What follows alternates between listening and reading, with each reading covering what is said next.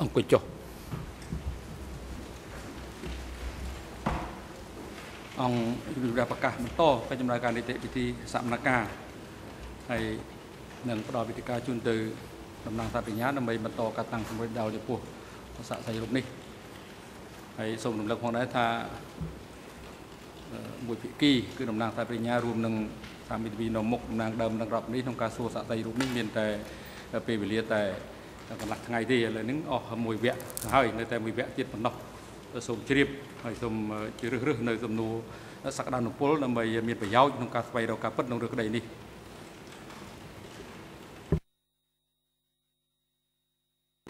Thank you, Mr. President. Mr. Pickcham, ព្រះ I'm ញ្ញាសូម moving អរ on គុណលោក now ប្រ to ធាន the ឥឡូវនេះ period after លោកប្រជុំ liberation ខ្ញុំនឹង on the តទៅ 17th of April សម័យកាលបន្ទាប់ 1975. ពីរំដោះគឺដែលកម្ពុជាជាធិបតេយ្យរំដោះពីឆ្នាំអឺថ្ងៃ On the 17th of April 1975, what position did you hold within District 105?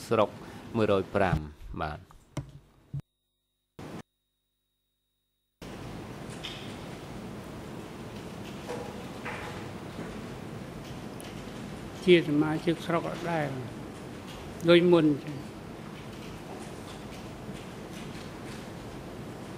ជាសមាជិកស្រុកអត់ដែរដូចមុនចឹងហើយទទួល When you ប្រជាជនពីភ្នំពេញទាំងអស់មករៀបចំចូលក្នុងសហករណ៍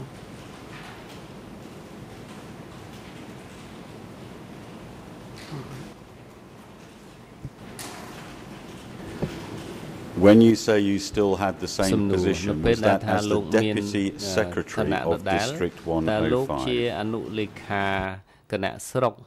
105នឹងដែរឬទេបាទ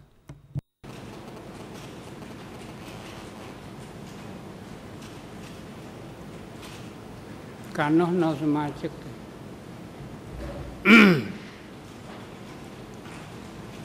I want to refresh your memory by referring to an interview and I'm going to quote word for word what you said and ask you if you stand by the answer. I'm referring to D232-14, English 00379170, Khmer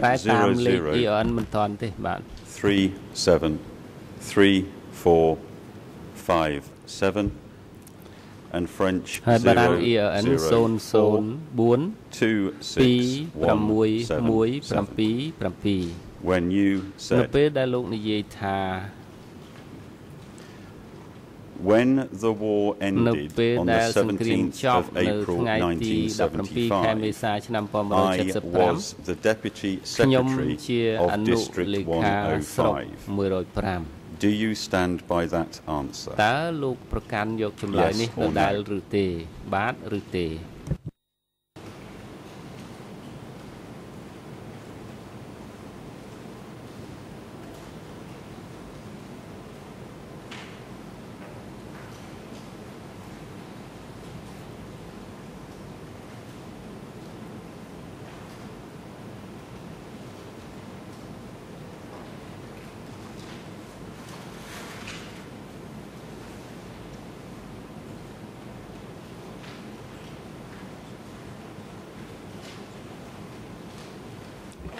ប្រជុំស្រាប់សំណួរ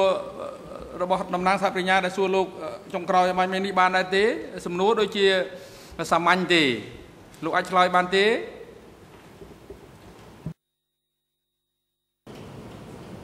បាទ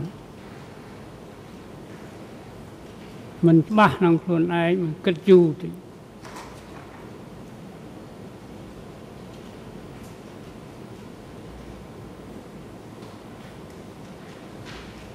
การนุเจอนุทางด้านนุเลยคานุชรอกทำก็คอยรำลามอ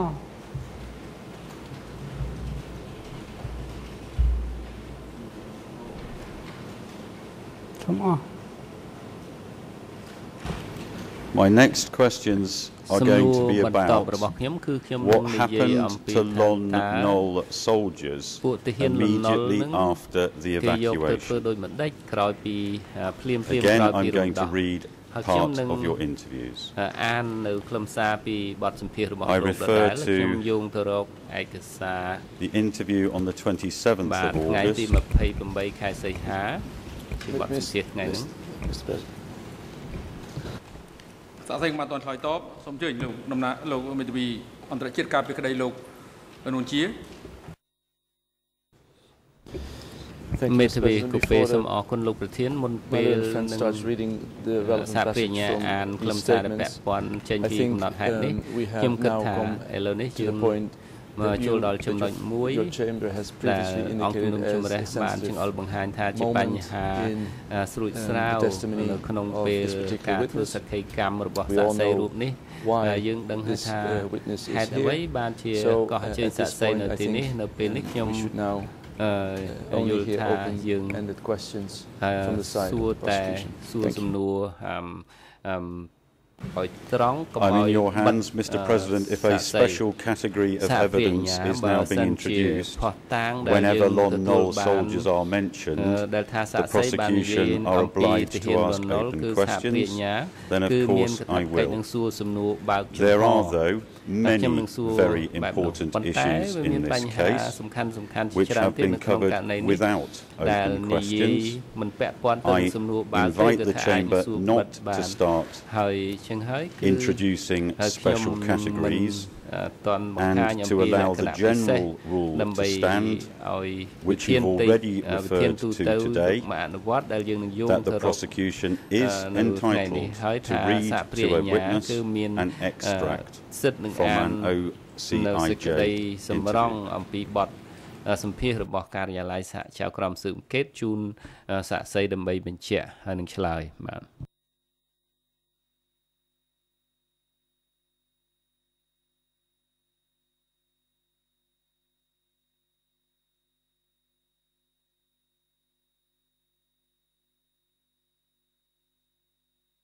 បាទឲ្យមានអនុញ្ញាតជ័យដំណាក់ថាបញ្ញាបន្តការតាំងសំណួរ Uh, to give everyone the relevant ERNs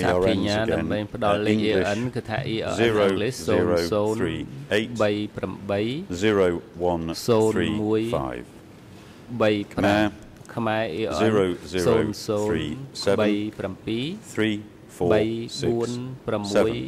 0037 French បារាំង 00426205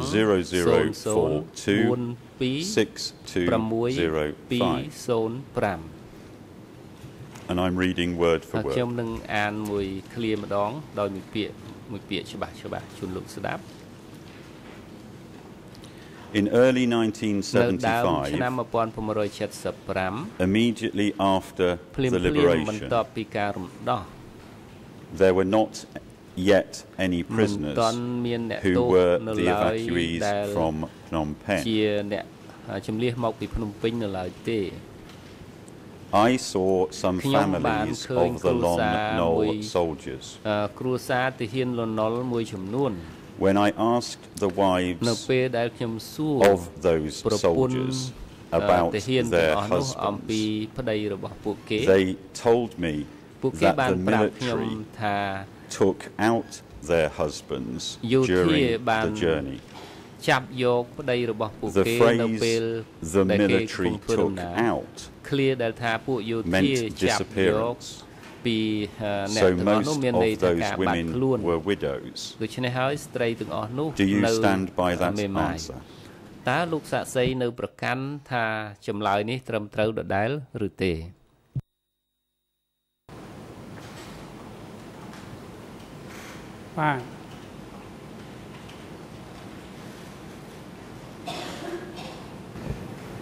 next, i would like to move.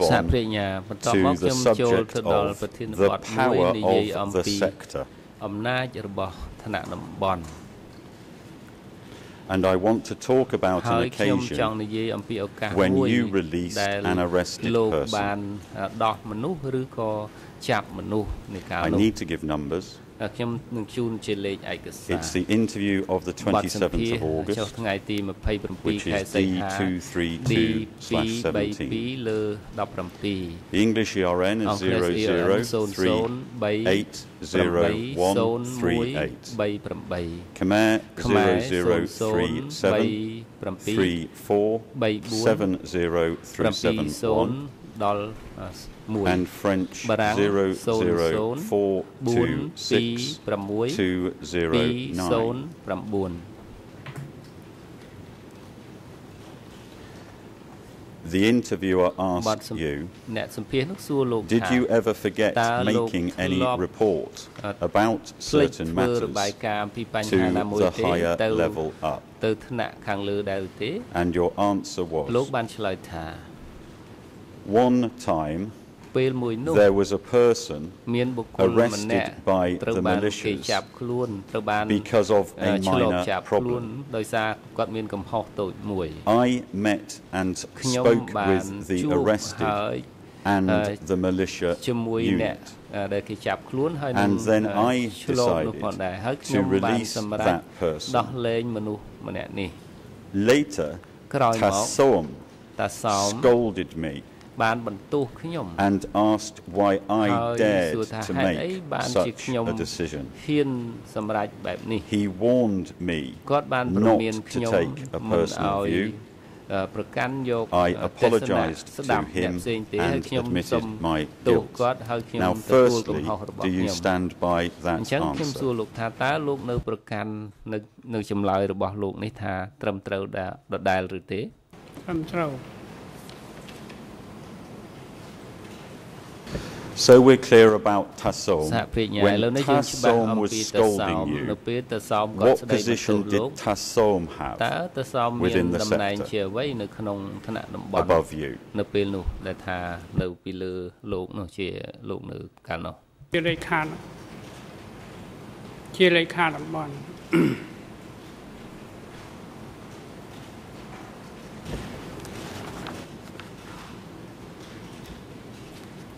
to be clear on the timing uh, you said in your interview of this day នៅថ្ងៃដដែលខ្ញុំចែកខាងដើមនេះគឺអង់គ្លេស0038031036 Khmer 003734 and French 000 426 You said that it was in May stroke June of 1976 that you became the interim district secretary of District 105. Do you stand by that answer?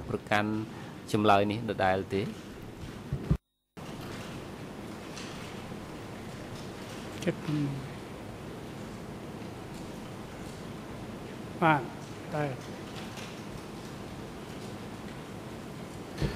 So, Mr. Pekchim,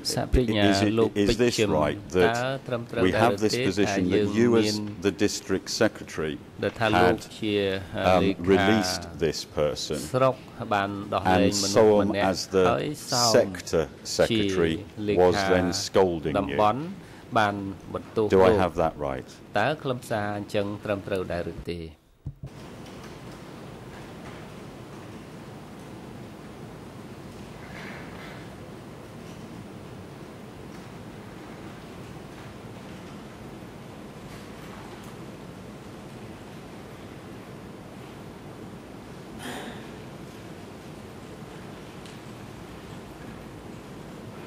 អញ្ចឹងត្រឹមត្រូវដែរឬទេអំពើខ្ញុំត្រឹមត្រូវ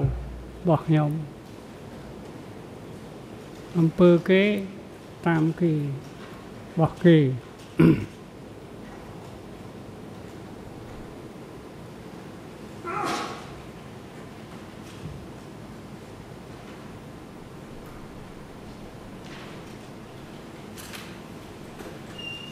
Do do you remember now who this person was that you decided to release អ្នកណាឈ្មោះអ្វីដែលលោកបានសម្រេច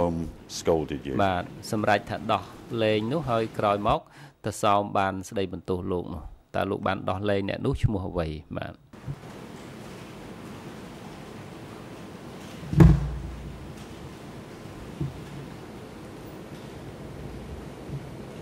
ឈ្មោះវង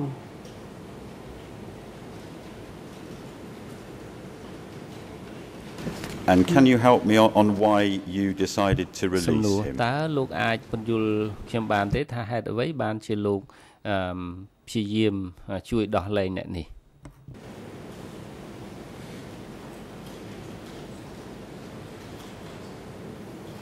គាត់ជាអ្នកធ្វើការជាមួយគ្នានៅប្រធានផ្សារហើយរួមចំណែកធ្វើការជាមួយនេះរហូតមកដល់មិនមានអីខុស ជាការប្រព្រឹត្តក្បត់មិនមាន មានគាត់ថាសាណៈមានតិចមានអីមានប៉ុណ្ណឹងជាងដំណោះអណៈខ្ញុំថាទៅឲ្យគ្នារស់ទៅហើយលែងហើយក៏ទៅជួបរាយការណ៍ប្រាប់ខាងលើថាខ្ញុំសូមខ្វះខាតប៉ុន្តែហ្នឹងល្អគាត់គាត់ព្រមគាត់មានថាអីអត់ទេសូមអស់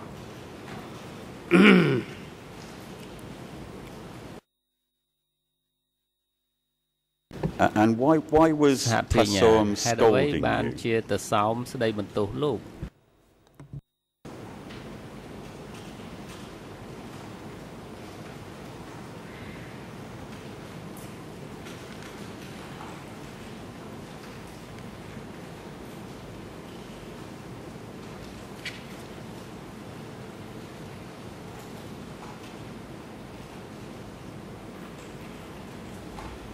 ចង់ឲ្យយើងគោរពវិន័យ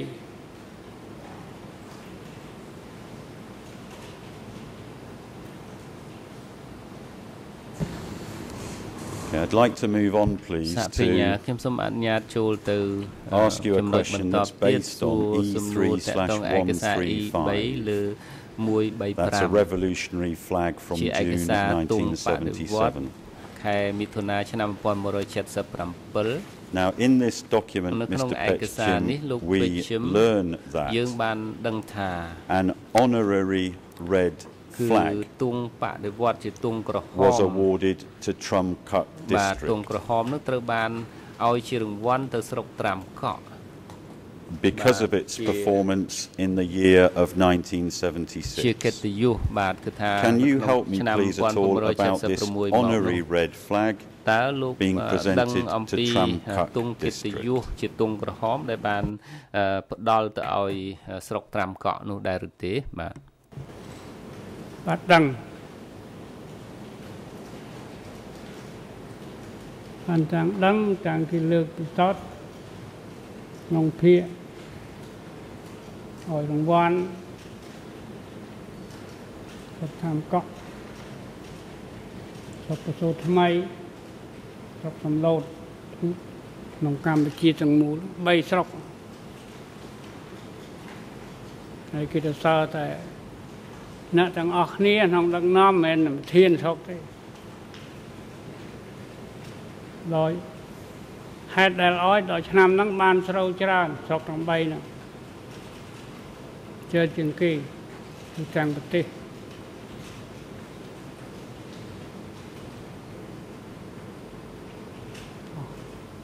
Thank you. When, when did you find out that you had, or, or that the district had been awarded the honorary red flag? ថាបានទទួលទង់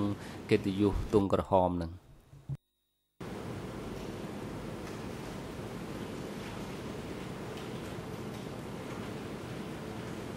មិនចាំខែទេច្រូតមូលផលស្រូវហើយ75ហ្នឹងប៉ិនមិនចាំពេលទេ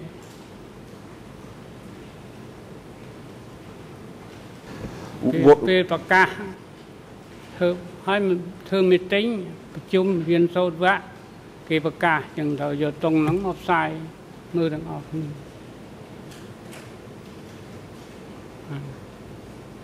Did did somebody um, from the upper echelons come to present the flag ថ្នាក់លើ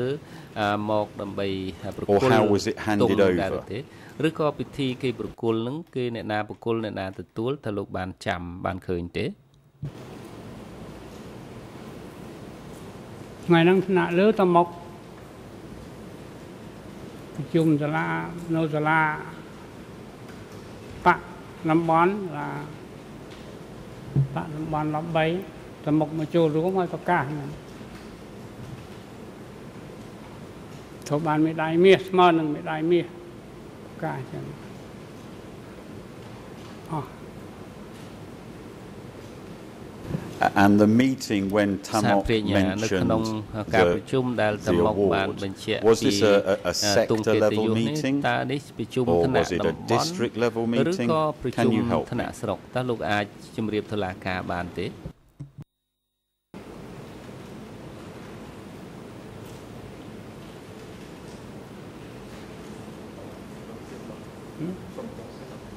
ថ្នាក់តំបន់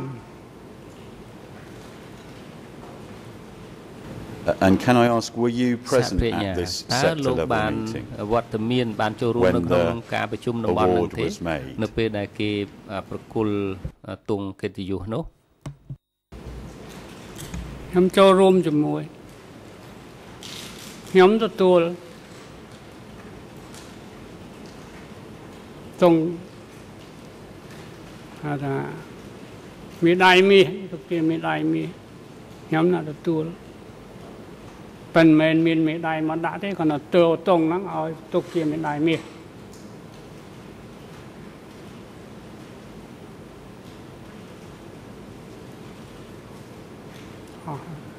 Uh, and did you display the flag in the district or what happened to the flag នៅស្រុកទេឬក៏តើទទួលបានហើយលោកស្រុកនឹងធ្វើដូចម្ដេចទុកយ៉ាងម៉េចឬក៏ធ្វើដូចម្ដេចបាទ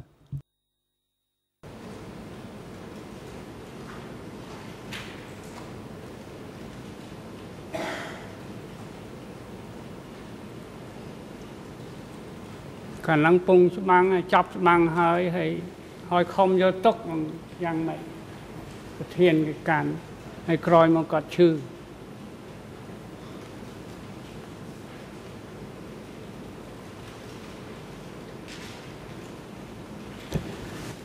I'm going to move on to the subject of enemies when you were the district secretary.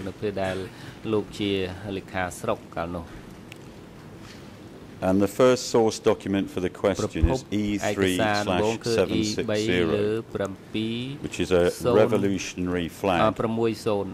issue 6 from June 1976. So this would be from the time when you were appointed as the district secretary.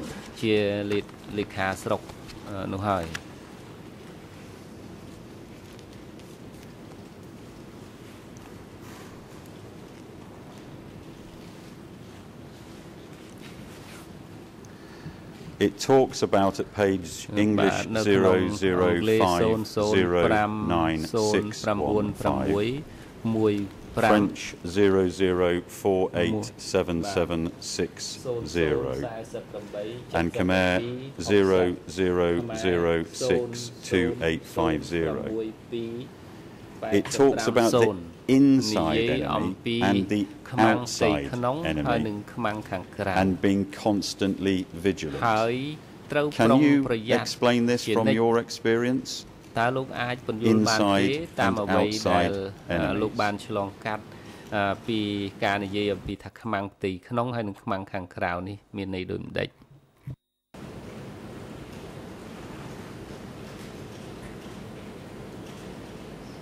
ខ្មាំងផ្ទៃក្នុង គឺស្មានក្នុង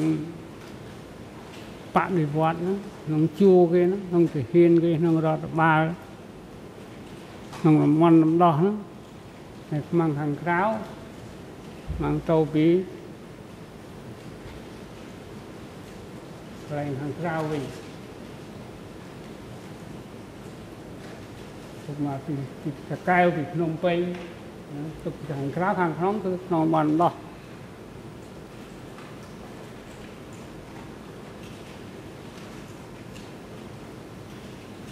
តំបន់ដែលខ្មែរក្រហមគ្រប់គ្រងហ្នឹងចំនួនគេទុកជាតំបន់ដោះទុកជាខាងក្នុង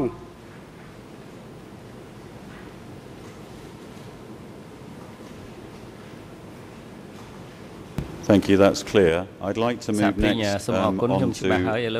E3/742 which is a revolutionary flag from April 1977ខែមេសាឆ្នាំ1977នៅក្នុងនោះមានការណែនាំ English page នៅក្នុងទំព័រអង់គ្លេស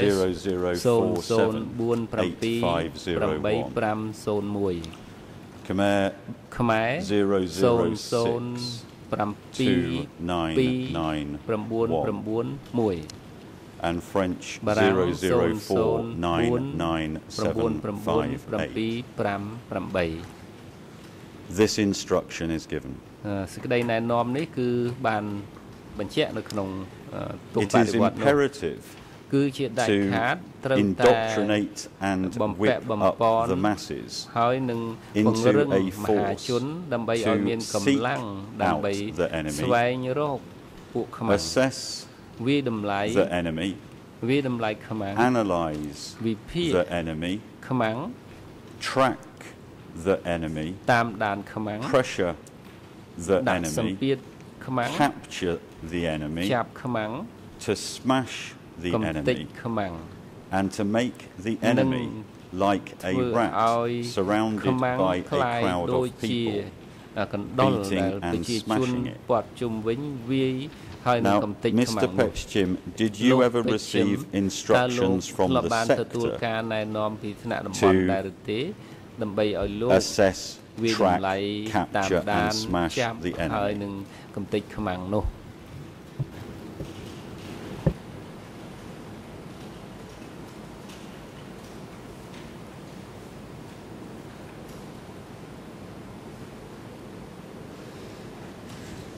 តែតងចេញមកគេរៀនគេផ្សាយហើយតំបន់ផ្សាយអនុវត្ត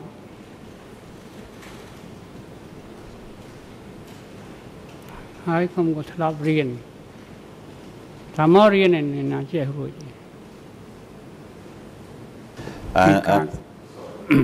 ពីការកំតិចខ្មាំងហ្នឹងកំតិចហ្នឹងមិនមែនតែសិតតែគឺថាបំបត្តិចោល បោះសម្អាតឲ្យមានរបបហ្នឹង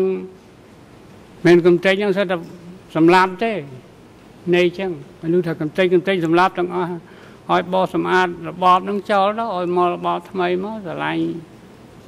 ហើយហាជាតិប៉ុណ្ណឹងតាសូមអរ I'll ask you a question just a minute in a minute about ខ្ញុំនឹងសួរសំណួរអំ ពីពាក្យមួយអំពីពាក្យកំតិចនេះនៅខាងមុខទៀតប៉ុន្តែខ្ញុំនឹងនិយាយពីបញ្ហាមួយ and it's about teaching you received from Nuon Chia ការបង្រៀនដែលលោកថាលោកនួនជាជាអ្នកបង្រៀនលោកលោកបាននិយាយនៅក្នុងឯកសារ E3 លើ401 The relevant ERNs are English 0038 1028 Khmer 0037 3478 and French 004 262117 and I'm reading word for ខ្ញុំនឹងអានមួយពាក្យម្ដងមួយពាក្យម្ដងជូនលោកស្ដាប់ I saw Nguyen Chia once when I went to study in Phnom Penh, at which time Nguyen Chia was the teacher. That was training for all the district secretaries of the entire country. Do you stand by that answer?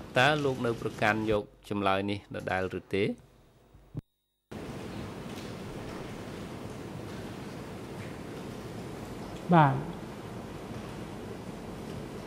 Mr. Petchim, can I ask where did this training take place? ចង់ដឹងថាតើការប្រជុំរៀនសូត្រនឹងគេធ្វើឡើងនៅកន្លែងណា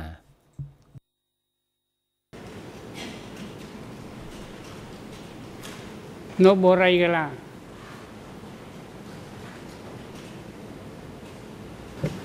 Obviously I wasn't there សហប្រញ្ញាខ្ញុំមិនបាននៅទីនោះទេ Can you help me please សូមលោកជួយពន្យល់ខ្ញុំបន្ថែម How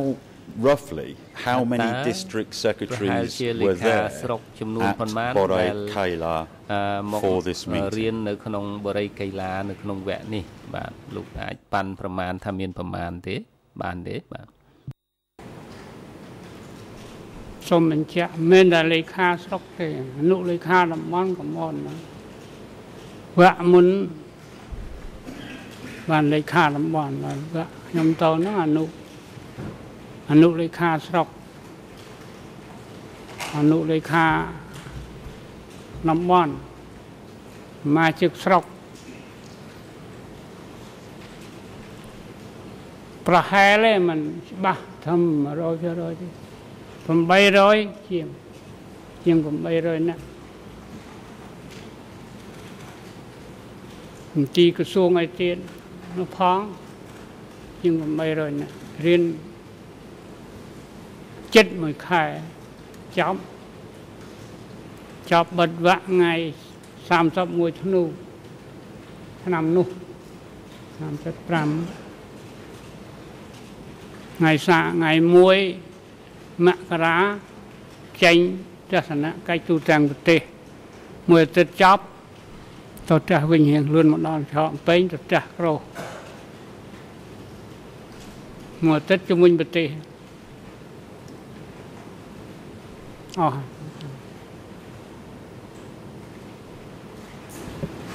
Can I just ask some more questions about the, the, the meetings where Noon Chair was a teacher? Um, who else was a teacher at this study session? Was it just Noon Chair or were there other teachers as well? គ្រូផ្សេងផ្សេងទៀតផងដែរមានតែគាត់មួយ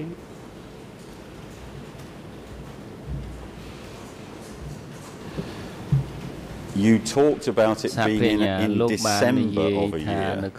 Can you help me Mr. Pechchim តើលោកពេ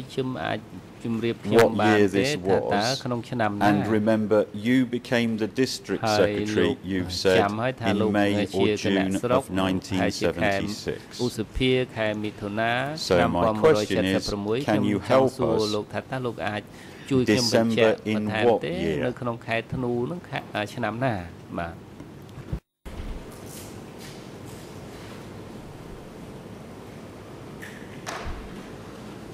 75 ខែធ្នូ75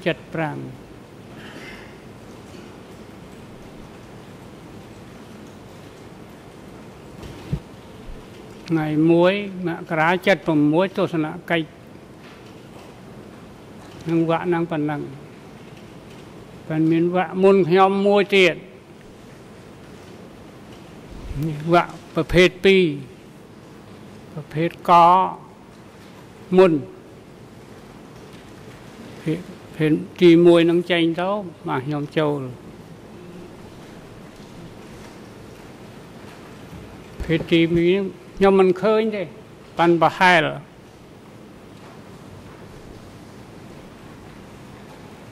ឃើញបាត់លោកដេកនៅផ្ទះមិនឃើញបាក់ទី1ហ្នឹងប៉ុលពតបង្រៀនមានណានជាងប៉ុលពតបាក់ទី2អានុនជាសូមអស់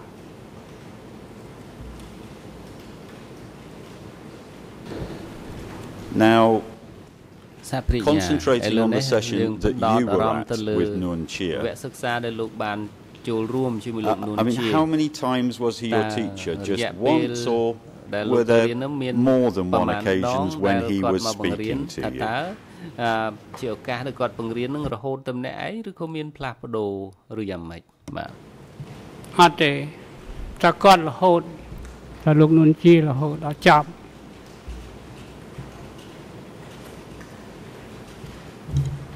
I think you've already said, but I may have missed it. How long did the session go on for? In days or weeks when Nuan Chia was your only teacher? អាទិត្យដែលថា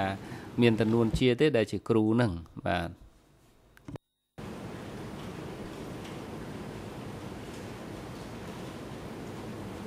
មានគាត់មួយនឹងចាំងទស្សនកិច្ចចាំងវៈមួយខែគាត់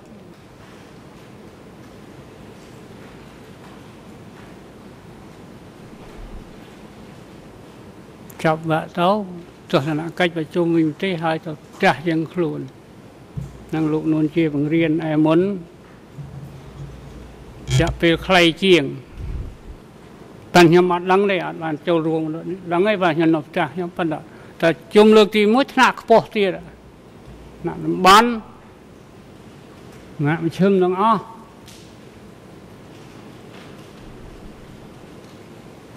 ហើយ អ្នកទីធានាមឯកសារប៉ុលពតចាប់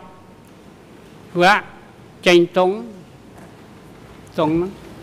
សេអីចេញអីហ្នឹងខ្វោកបោះរាវធ្វើតាមហ្នឹង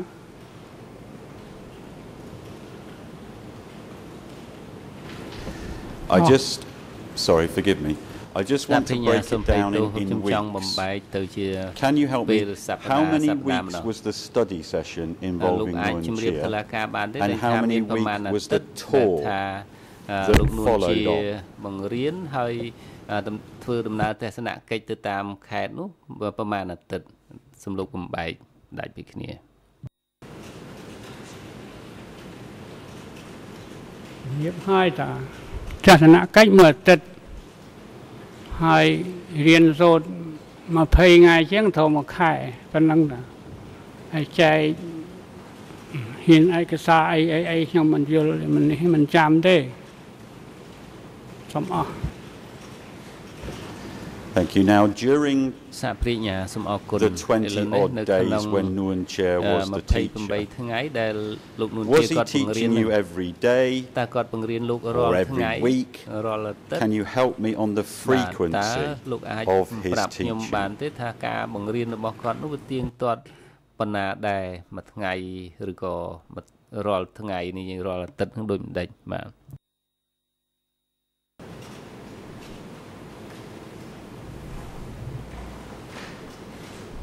ពិធីបង្រៀនគាត់មកទេសនាមឯកសារចប់ហើយយើងអ្នកស្ដាប់សិស្សទាំងអស់គាត់ត្រាបទាំងអស់ចិត្តគាត់បានទាំងអស់មានណាគាត់បានអត់មានឯកសារជូនទេតុងអត់ទាន់អោយទេសេបានទាំងអស់គ្នាណាក៏សេបានជាសកាត់ ថាមកសិតាគាត់និយាយចប់ចប់គ្នាបាទសេសល់កាត់ដាក់កដាក់តដាក់អីចឹងទៅហើយក្រុមកត់របស់គាត់នៅជុំវិញគាត់ហ្នឹងក៏មានជួយកត់ត្រាឲ្យគាត់ខ្វះហើយបានរៀបមានក្រុមផ្នែកផ្នែកពិភាក្សាខ្លឹមសាររៀនហ្នឹងគាត់ទៅកន្លែងគាត់បានហើយ នេះភាសាទៅភាសាចាប់ឲ្យដំណឹងទៅគាត់ចាប់សៀលហ្នឹងឲ្យចាប់ស្អែកស្អែកគាត់មកសរុបប៉ុណ្ណឹងហើយចូលឯកសារថ្មីនឹងសូមជំរាបប៉ុណ្ណេះ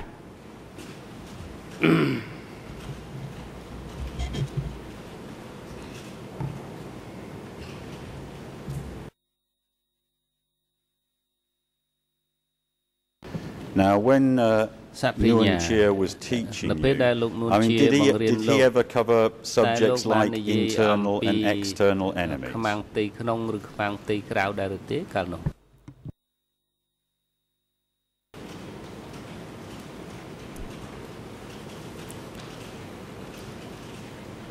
និយាយទាំងអស់បើមិននិយាយមិនភ្លឺអីហៅខ្មាំងអី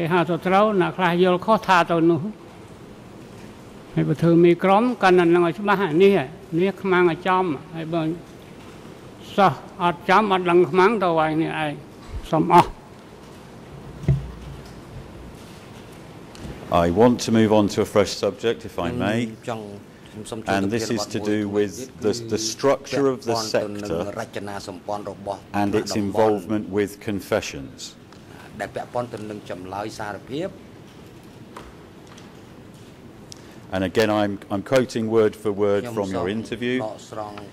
It is E3 slash 401, English 0038 1024 stroke 5, Khmer 00373 474 stroke 5 and French 0042 6213 through 4. And the interviewer asked this question. សម្ភារអ្នកសម្ភារគឺថាបានសួរលោកដូចតទៅនេះ Can you explain to us what they did with the confessions sent from the Krang Tachan Security Centre and where did they take them to? And your response was the confessions and reports which were in the enclosed envelope and sent from the Kang Tachan Security Centre to the sector had to go through the district first. Do you stand by that answer?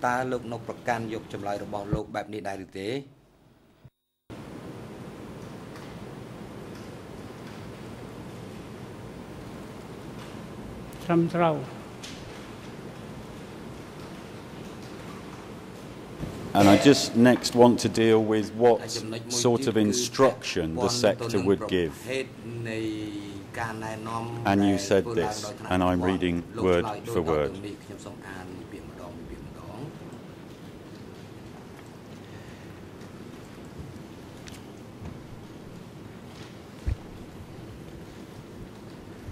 If there were some names in the confessions were crossed by the red ink, it meant that the sector level had decided that these names were to be purged. To purge meant to kill. Do you stand by that answer? តើលោកនៅប្រកាន់យកចម្លើយដែលលោកឆ្លើយបែបនេះទេ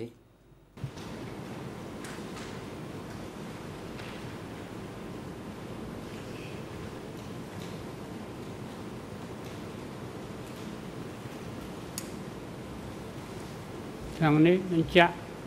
ខ្ញុំបានឆ្លើយចឹងមែននិយាយវាវែងញែកឲ្យយល់ចឹងមែน Now, if the sector had put red ink, meaning kill, was it um, was it then sent to Krang Chachan for them to implement, or what was the procedure after the red ink? សម្រាប់អញ្ចឹងតើត្រូវត្រូវផ្ញើទៅក្រាំងប្រច័នតែម្ដងឬក៏យ៉ាងម៉េចអាហ្នឹងមកទៅតំបន់ទៅវិញទៅខាងទៅច័ន្ទហ្មងគឺយកទៅហ្នឹងទៅខ្លះបាត់ដែលឃើញហ្នឹងមានមួយម្ដងអត់បាត់ទេជូនដល់ទាំងអស់ទាំងអស់ can't hear you properly.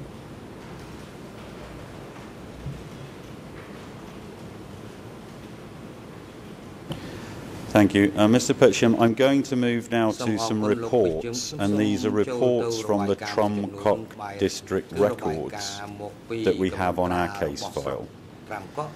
So I'm going to read a selection of some topics in the reports and see if you can help me.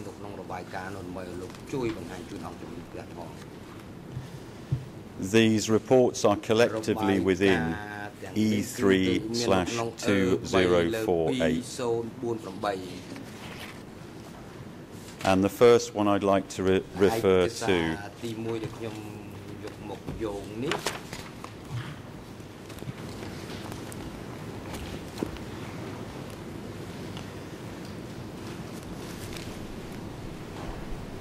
is a report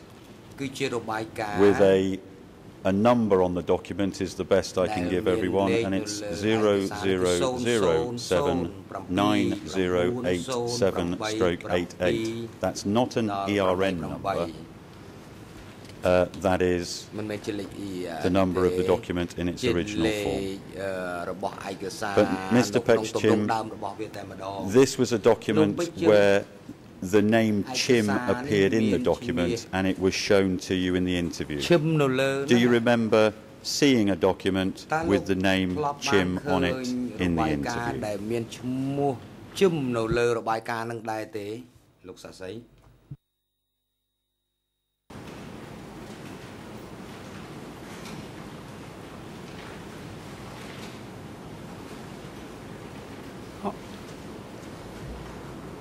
ហើយខ្ញុំមើលម្ដងបាទខ្ញុំមើលទៅមានមែនមុខខ្ញុំឃើញដាក់ធឹម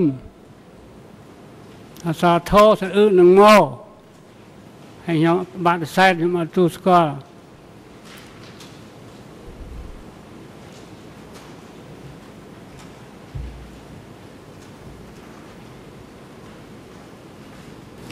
I think that's right uh, with your first answer. If I just try and help you,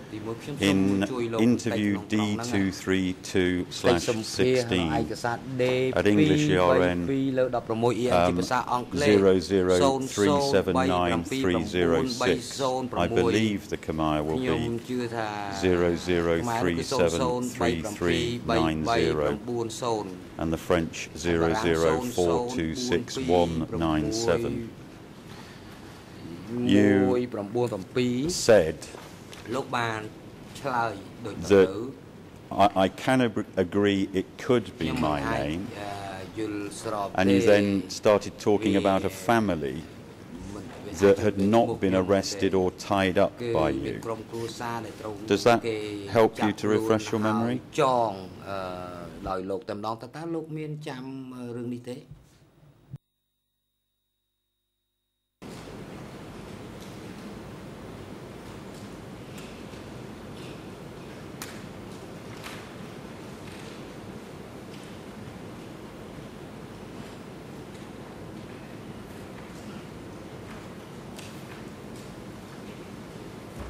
hot day. I, am I'm, I'm going to move on, Mr. Petchim. Um, I'm dealing now with some reports that are sent from communes to Trumcock district. And the first one I'd like to refer to, again, still within E3 stroke 2048, is item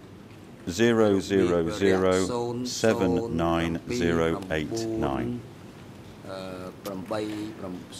This is a report from Qing Tong from somebody called Moon. And I want to read the report to you and see if you can help. The report says Request to make a report to beloved Trumcock district Ankara as follows. The enemy situation in our bases. After having received successive instructions from Angkor, about being vigilant about the enemy and purging the enemy officers. We have tracked, examined, and found. And then there's a list of some people. So, my question for you, Mr. Petchim, is this Is it right that UNCAR gave instructions ដែលថា about អង្គការបាន purging ផ្ដល់ enemy ការណែនាំ officers? អំពីការបោសសម្អាតខ្មាំងនោះ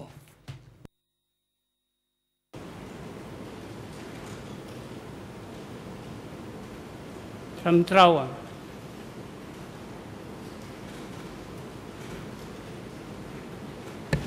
The next report, still within E3 stroke 2048.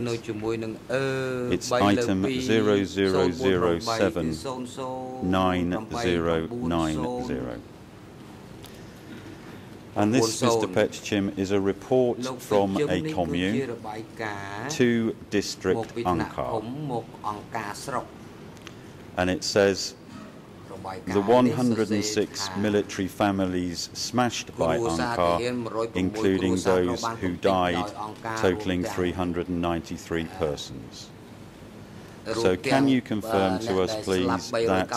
that military families were smashed on instruction by Ankar?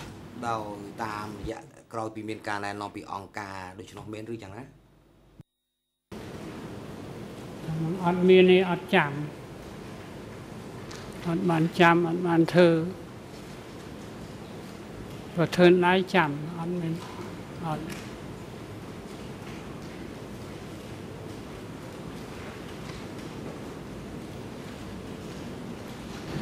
Uh, I just want to be clear on that. Um, ខ្ញុំចង់បញ្ជាក់ឲ្យច្បាស់ទៅលើចំណុចនេះ you have said already that there were instructions from UNCAR to um, track and purge enemy officers. Uh, but are you saying that you weren't personally involved in sending instructions to smash officers or soldiers of Lon Nol? Or help us?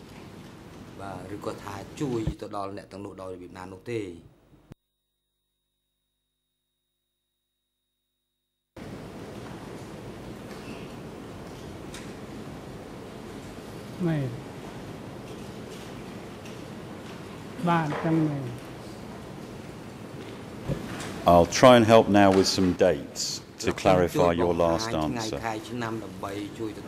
Um, when was it that you stopped being the district secretary in District 105?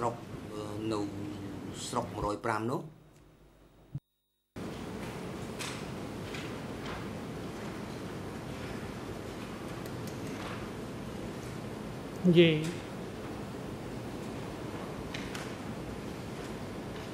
អត់ចាំថ្ងៃក្រោយរំដោះមើលនិយាយមើលលេខាស្រុករយរំដោះ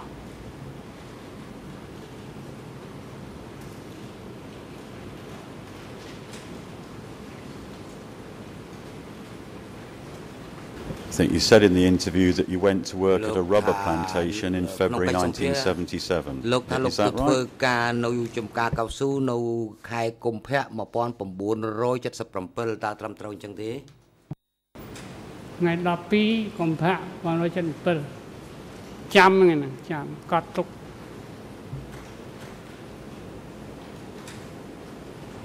Now, I just want to go back to an earlier topic we were talking about, which was the red ink from the sector. Now, this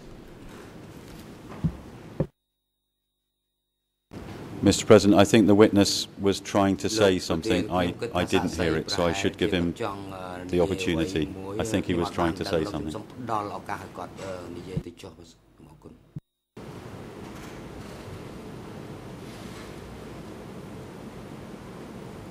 No, I'm going to move on. និយាយថាកុម្ភៈ77ឬកុម្ភៈ76ខ្ញុំនៅត្រនឹងទៅពេជ្រ7លេខដែរដាក់ឲ្យ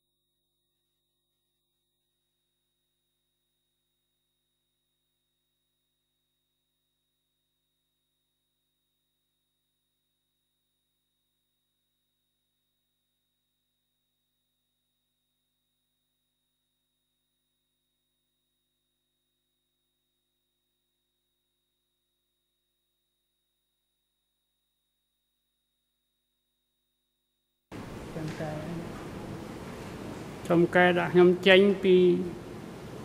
ធម្មកក់12កុម្ភៈ1976នឹងបានត្រូវព្រោះចេញវិវៈសិក្សានោះខែមួយចេញទៅដល់នោះទៅដល់នោះធ្វើប្រព័ន្ធភ្លឺជីកបន្លាយអានបន្លាយនឹងមកដល់អង្គសម ធូបហៅមកជើងនឹងណាជើងថាមកដល់ទៅរៀបចំមកដល់ពីងាចេញទៅមកត្រែកជួបតាមផ្លូវទៅដល់ទៅនេះមួយនោះមួយនោះមួយ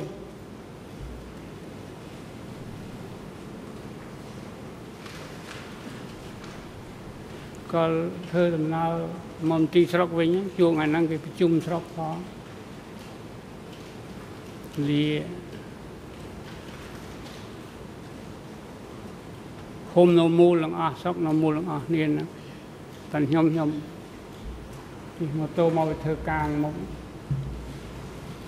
លាគេបណ្ដោយលាគ្នាឯងបណ្ដោយលេងបែកគ្នា76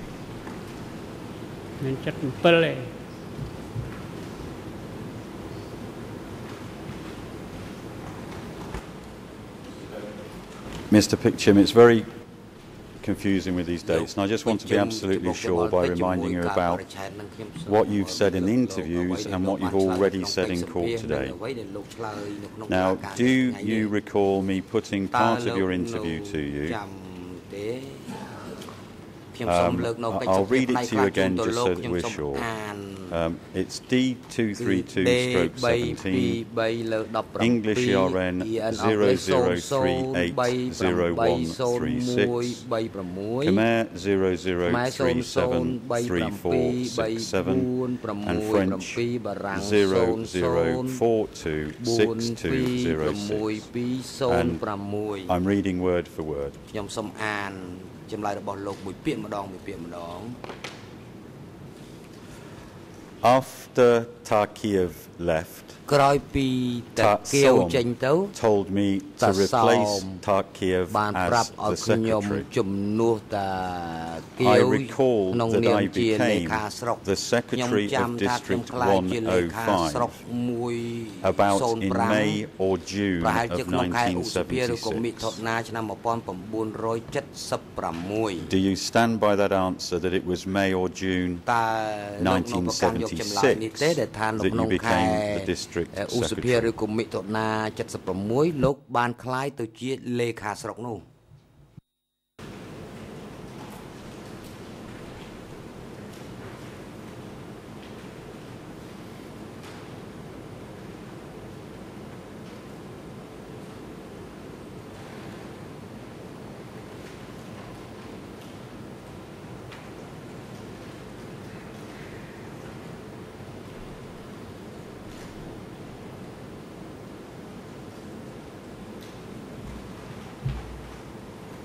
សូម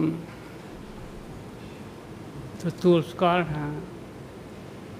និវ័នមួយម៉ាត់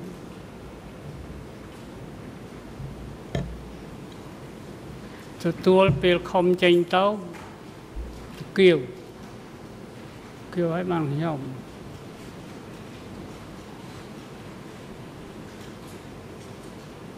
យ៉ាយ៉ាតាន់លេខាត តាមនេះវាស្ដីទីស្ដីទីដកបើថាប្រជុំប្រកាសมันមានពិតលេខាបើថាអត់តាន់ប្រកាសទេគ្រាន់ហៅប្រើធ្វើប្រើធ្វើបើអត់មានវគ្គឲ្យប្រកាសចឹងអត់អត់លេខាទេនឹងគាត់ជំរាបថែមប៉ុណ្្នឹងឯងប៉ុន្តែដល់ទៅឯកភាពថាខែ6ចឹងចុះព្រោះខ្ញុំអាចផ្លេចខ្លះសូមអត់ទោសខួរក្បាលចាំណាអស់អាយុខ្ញុំប៉ុណ្ណេះហើយ some. Ah.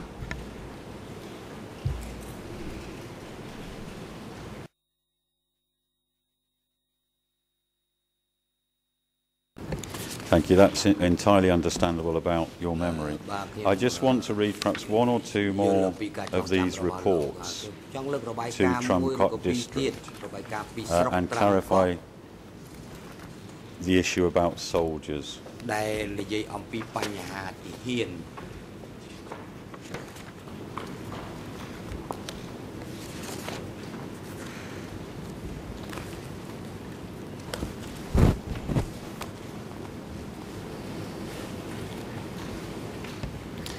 Uh, I'm referring to document D157.38. This is a report from Port Pale commune, if I've said it right, to Trumcott district. And it's to request for advice from respected brother of the district party. It's dated the 11th of April, but there's no year given. And it says, for those people who hold a ranking position, we will send them out to you consecutively. Now,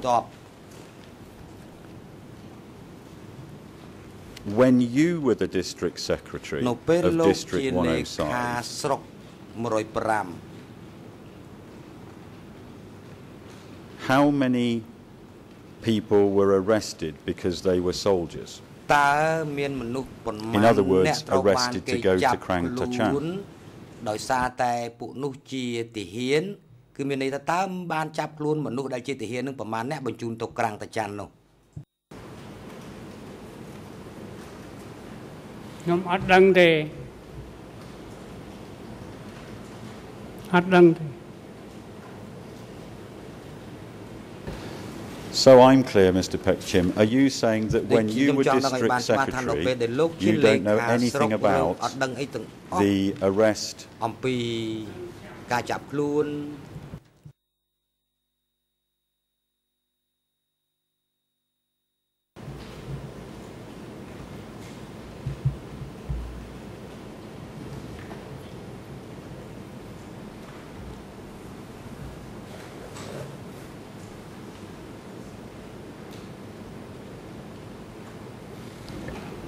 ខ្លួនខ្ញុំអត់ដឹងអត់ចាំទេគេចាប់ទាហានចាប់អីក៏គេខ្ញុំដែលគិតគូរនឹងចាប់ហ្នឹងដែរនេះការងារគេធ្វើផ្សេងខាងក្រៅ And I just want to clarify in one last theme about reading on confessions. អំពីប៊ិចក្រហមនៅលើចម្លើយសារភាព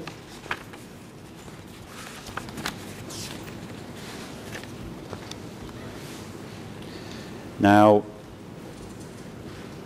I want to read you again one extract from your interview about these confessions. D2 sorry E3 stroke 401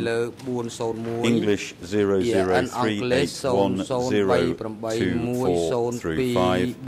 Khmer 00373 474 stroke 5 ដល់7 5 French 00426213 ដល់14 And this is about your involvement with confessions ការពាក់ព័ន្ធរបស់លោកដោយផ្ទាល់ទៅនឹងចម្លើយសារភាពដែលគេបញ្ជូនមកពីតំបន់វិញនោះ You said លោកបានឆ្លើយថា I would read them ខ្ញុំ ត្រូវអានរបាយការណ៍ទាំងអស់ហ្នឹងបើសិនណាមានឈ្មោះនៅក្នុងចម្លើយសារភាពដែលដាក់សញ្ញាខ្វែងពណ៌ក្រហមមានន័យថាថ្នាក់តំបន់បានសម្រេចឲ្យថាត្រូវបោសសម្អាត Now with some of these confessions with the reading to do with former Lon Nol soldiers ជាមួយជាមួយនឹងអតីតទាហានលន់ណុលតើលោកមានបានដឹងរឿងហ្នឹងទេ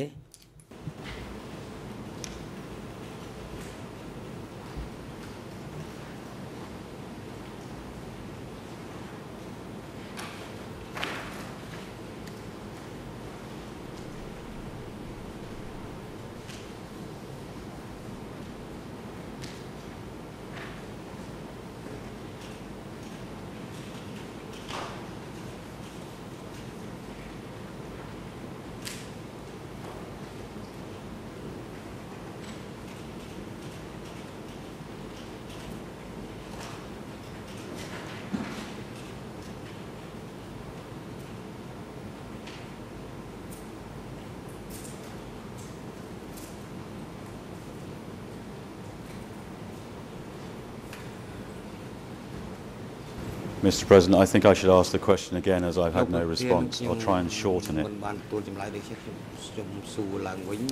Mr. Pikchin, when you read confessions with red ink on them, did some of those confessions refer to former Lon Nol soldiers?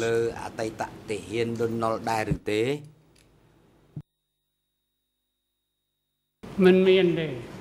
មិនមានតកតងទៅអតីតធានរណុលទេក្នុងសត្វជាជនខ្ញុំសូមឲ្យលែងនឹងតកតងឃើញអញ្ចឹងល្អហើយសូមលែងខ្លះគាត់ព្រមឲ្យយកបើឲ្យខ្ញុំលែងខ្លះលែងនិយាយម្ដងហើយនោះអញ្ចឹងខាងមួយខាងយកវិញខ្លះហើយ106ចាំឲ្យគេមកយកវិញខ្លះនឹងមានអញ្ចឹងសូមជម្រាបអស់ហ្នឹង Right, thank you very much, Mr. Pekchim. I, have got no more questions. I understand the lead civil lawyers may, Mr. President, have wanted up to 10 minutes. I apologise because I've encroached slightly into that time. ពីទោសដែលថាខ្ញុំបានប្រើពេលច្រើនបន្តិចសូមអរគុណបាទអរគុណជាបន្តអមផ្ដល់វេទិកាជូនទៅក្រុម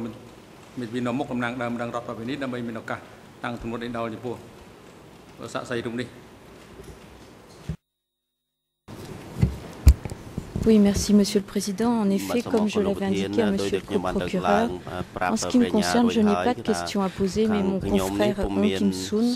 a besoin d'une quinzaine de minutes pour poser ses questions. Merci.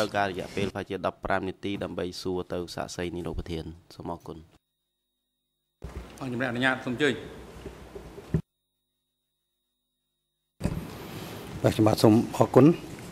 និងសូមគោរពលោកប្រធានលោកស្រីលោក ចក្រមក្រុមប្រឹក្សានៃអង្គជំនុំជម្រះនិងអង្គសមាការទីក្រុមដោយពេលវេលាខ្លីខ្ញុំសូមសួរសំណួរទៅលោកសាក់សីតែម្ដងសម្រាប់ឈ្មោះហុងកំសួនជាមេធាវីតំណាងឲ្យដើមបណ្ដឹងរដ្ឋនេះសូមសួរទៅលោកសាក់សីពេជ្ជជំបញ្ជាក់ខ្លះខ្លះតាក់ទងជាមួយនឹងដែលលោកអះអាងអំបញ្ញមិញនេះនៅវេលាម៉ោង10:05នាទីជាមួយនឹងសហព្រាញ្ញាបាញ់មិញស្ដីអំពីខ្មាំងដែលលោកមានប្រសាសន៍ថាលោកបានស្គាល់ស្គាល់ច្បាស់អំពីខ្មាំងអញ្ចឹងសូមលោកបញ្យល់បន្តិចមើលថាតើ ខ្មាំងដែលលោកស្គាល់នៅក្នុងរបបកម្ពុជាប្រជាធិបតេយ្យនោះខ្មាំងមានប្រភេទយ៉ាងម៉េចខ្លះសូមលោកបញ្ជាក់បន្តិចមកបាទ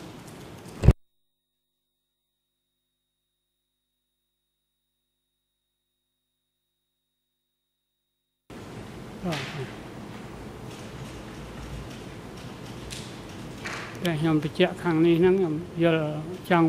លើកឲ្យឃើញថា ចំនួនការនោះខ្ញុំមិនមែនជាទុនតាមតគេមិនជានោះខ្មាំងនោះខ្មាំងទេខ្ញុំមើលរឿងជាក់ស្ដែងចោតគ្នាទៅវិញទៅមករឿងរ៉ាវឯងខ្ញុំទៅពិនិត្យដល់ទីកន្លែងក៏ឃើញជាមិត្ត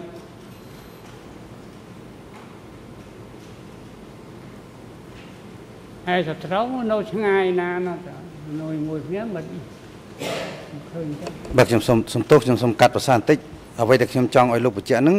ព្រោះលោកបានបញ្ជាក់អំពីពាក្យថាខ្មាំងចង់ឲ្យបញ្យល់ពាក្យថាខ្មាំងហ្នឹងតើដូចម្ដេចហៅថាខ្មាំង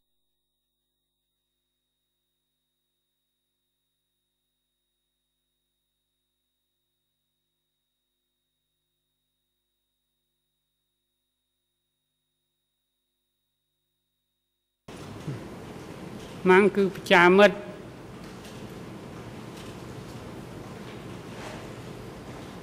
ត្រូវនឹងខ្លួនយើងទៅត្រូវនឹងអង្គភាពយើងទៅត្រូវនឹងប្រទេសយើងនឹងគឺខ្មាំងតាត់ដល់សូមបន្តសំណួរទៅទៀតនៅក្នុងរបបកម្ពុជាប្រជាធិបតេយ្យនៅក្នុងស្រុក105ដែលលោកជាលេខាបកស្រុកឬអនុលេខាបកស្រុកដែលលោកឆ្លើយជាមួយលោកពលាញាបាញ់មិញ តកតងជាមួយនឹងមន្ទីរសន្តិសុខក្រាំងតាច័ន្ទកន្លែងនោះតើដាក់ឬក៏ឃុំឃាំងមនុស្សដែលចោទថាជាខ្មាំងមែនទេ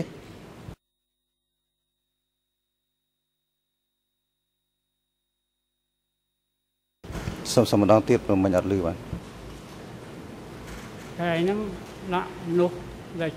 ចោទថាមានទោសជាខ្មាំង បាទសូមអរគុណអំបញ្ញមិញនេះលោកបានឆ្លើយជាមួយលោកព្រាញ្ញាអំពីថាលោកបានដោះលែងសុំដោះលែងមនុស្សខ្លះពីមន្ទីរសន្តិសុខក្រាំងតាច័ន្ទដែលលោកយល់ថាជាមនុស្សល្អហើយយល់ព្រមមានការយល់ព្រមឲ្យដោះលែងតែលោកបានដឹងទេថាអ្នកដែលមិនត្រូវបានដោះលែងនោះវាសនារបស់ពួកគេទៅជាយ៉ាងណាដែរទេ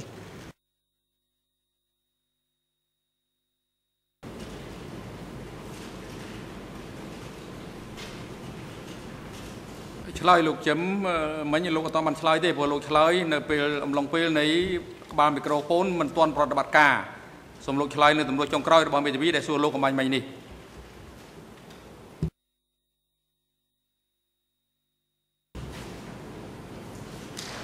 សូមឆ្លើយថា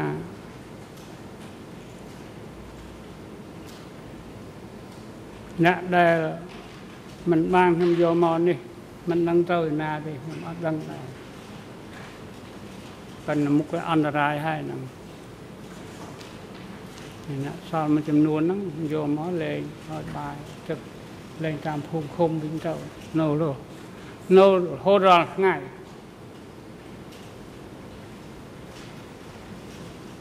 បាទសូមអរគុណសូមលោកបញ្យល់បន្តិចបានទេថា ប្រហែលជានៅសល់នៅអន្តរាយនឹងមានន័យថាស្លាប់ឬសម្លាប់ដែរទេ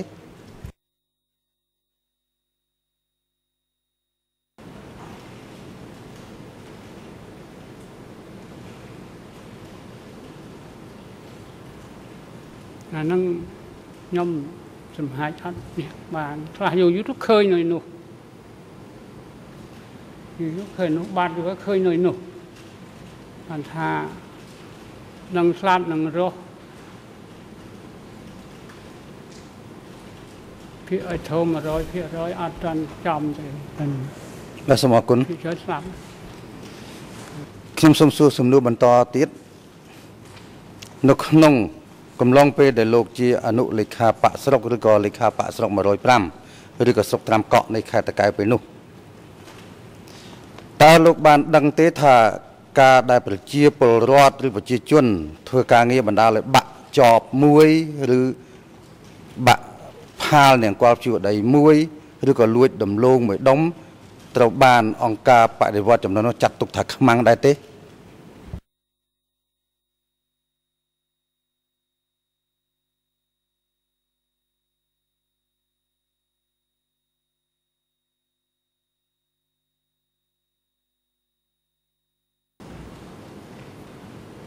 សូមបញ្ជាក់ជូនចំនួននោះឬចឹងខ្ញុំក៏ចោះប្រាប់ដែរហាមិនសំលងមកមើលអីនោះចេះចោតនេះខ្មាំងនោះខ្មាំងនោះខ្មាំងណាជាជនឯងចុះណែនាំចឹងតែពាក្យចោតថាចេះចោះចេះចោះពាក្យឡាយឡាយមកចេះថា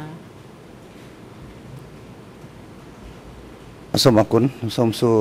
តកតងជាមួយនឹងការជំលៀសប្រជាពលរដ្ឋចេញពីទីក្រុងភ្នំពេញក្រោយថ្ងៃរំដោះ17មេសាឆ្នាំ1975តើលោកបានឃើញដំណើររបស់ប្រជាពលរដ្ឋដែលបានជំលៀសពីភ្នំពេញទៅដល់ស្រុក105របស់លោកដែរទេ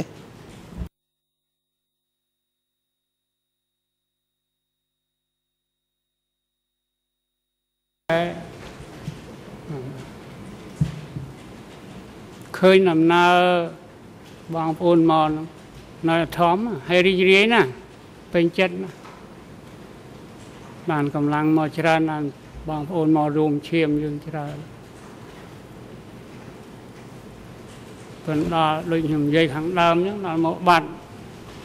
ខ្ញុំមិនមិនមកដល់ពេញណាខ្ញុំនៅស្រុកនោះទេប៉ុន្តែគេប្រមូលដាក់105កង់នេះ ហើយហៅយកទៅដាក់សហករណ៍ខ្ញុំក៏ហៅប្រធានសហករណ៍មកចែកគ្នាទៅបាទសូមអរគុណខ្ញុំសូមកាត់ប្រសាសន៍លោកដល់ពេលវេលាខ្ញុំខ្លីពេកខ្ញុំគ្រាន់សួរបានឃើញសិនណាបន្តទៀតតែនៅក្នុងការទទួលជនភៀសខ្លួនមកពីទីក្រុងភ្នំពេញទាំងអស់នោះតើមានការ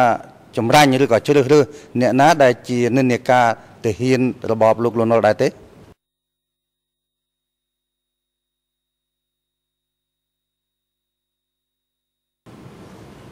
ជាខ្ញុំគឺមិនមានទេខ្ញុំទទួលការចាត់ចែងនោះប៉ុន្តែខាងក្រៅមានអានឹងមិនដឹងព្រោះពី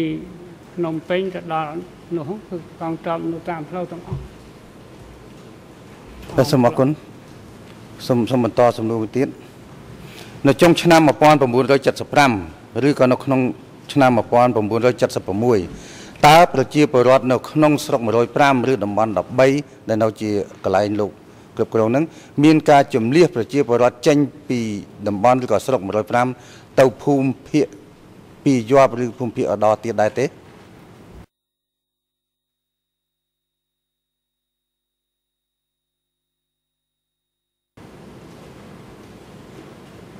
ដាប់អត់តានមិនបានទៀត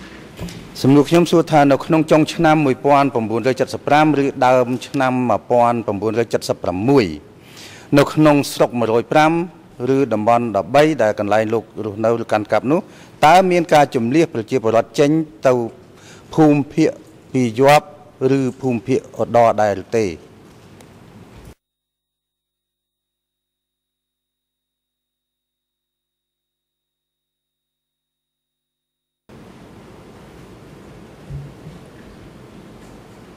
ជំនះ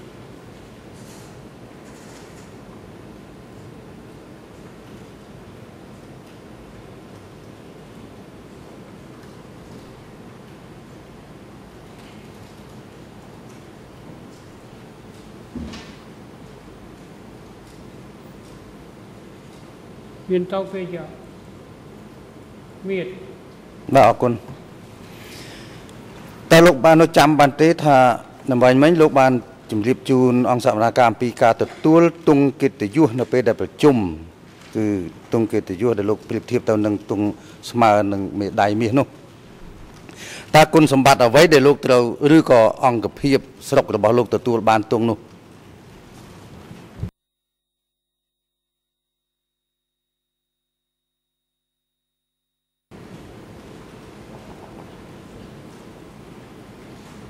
បានតងលយធ្វើស្រែបានស្រោមអត្តា3តនប៉ុនវាមិនគ្រប់3កាលនោះបាន2កន្លះបាទសូមអរគុណផែនការធ្វើស្រែពី1ហិកតា3តោននេះគឺជាគោលការណ៍របស់អង្គការឬក៏របស់ឋានៈដឹកនាំរដ្ឋាភិបាលកម្ពុជាប្រជាធិបតេយ្យឲ្យប្រជាពលរដ្ឋប្រឹងធ្វើស្រែពី3តោនទៅ6តោនហិកតានឹងមែនទេ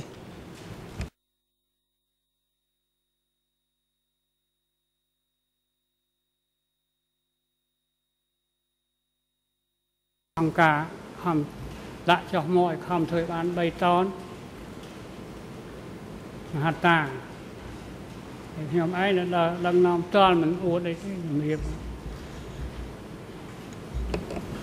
សូមអរគុណដោយសារពេលវេលាខ្លីខ្ញុំសូមសួរសំណួរចុងក្រោយដល់លោកតើលោកទទួលស្គាល់ថាមន្ទីរក្រាំងមន្ទីរសន្តិសុខក្រាំងតាច័ន្ទគឺនៅក្នុង ស្រុក105ដែលលោកជាអនុលេខាតាំងពីមុន1975មកដល់ក្រោយឆ្នាំក្រោយ17មេសា1975ដែរទេ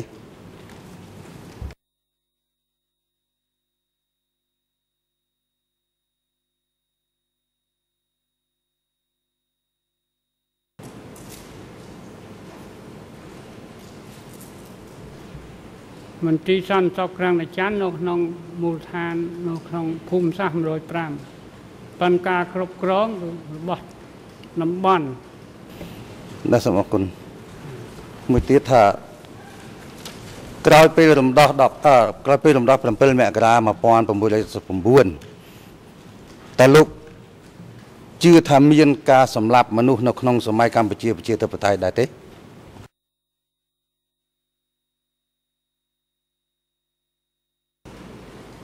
មានខ្ញុំជឿបាទសូមអរគុណលោកប្រធានសូមសំណួរខ្ញុំអស់ប៉ុណ្ណេះបាទអរគុណលោកស័ក្តិសិទ្ធិបាទឥឡូវនេះដល់ពេលសម្រាប់ថ្ងៃត្រង់ហើយអញប្រកាសសម្រាប់ថ្ងៃត្រង់ចាប់ពីពេលនេះទៅទៅរហូតដល់ម៉ោង1:30នាទីរសៀលនេះសូមអញ្ជើញចូលវិញដើម្បីបន្តកិច្ចដំណើរការសកម្មភាពហើយមន្ត្រីរដ្ឋបាលតុលាការមករួបផ្ដល់កន្លែងសម្រាប់នៅបន្ទប់រងចាំ ឬកន្លែងណាមួយសំទ្របនៅក្នុងបរិវេណនៃអវតកនេះសម្រាប់សាក់សីសម្រាប់នៅក្នុងឡងពេលសម្រាប់ថ្ងៃត្រង់ហើយនឹងឲ្យជើញគាត់ត្រឡប់មកកាន់កន្លែងផ្ដល់ឲ្យកម្មនេះវិញនៅវេលាម៉ោង1:30នាទីរសៀលនេះរួមទាំងមេធាវីប្រឹក្សាសាក់សីផងហើយប្រកបឲ្យអនុរិយមន្ត្រីឃុំឃាំងនាំខ្លួនជនជាប់ចោតខៀវសំផនទៅកាន់បន្ទប់រងចាំខាងក្រោមសាសនាការនេះនឹងប្រកបឲ្យនាំខ្លួនគាត់ត្រឡប់មកចូលរួមសកម្មភាពនៅក្នុងបន្ទប់សកម្មភាពនេះវិញនៅវេលារសៀលនេះឲ្យបានមុនម៉ោង1:30នាទីសម្រាប់ចុះ Some culture.